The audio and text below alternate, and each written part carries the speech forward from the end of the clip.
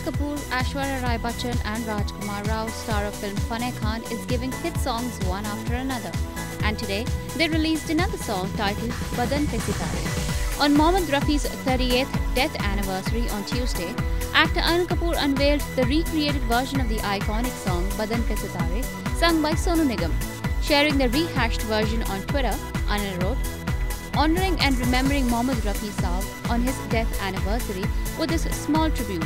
We can never match up to his talent, but this is just our way of showing our love for him.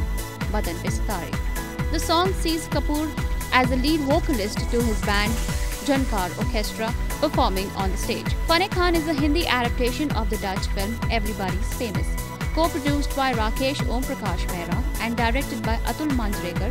The film also features Aishwarya Rai Bachchan, Divya Datta and Rajkummar Rao with Pihu Sand playing a key role. The film is about an aspiring singer the original song, picturized on actress Vyjayanti Mala and late veteran actor Shammi Kapoor, featured in the 1969 film Prince. Its new version finds a place in Anil Kapoor's starrer Fanney Khan.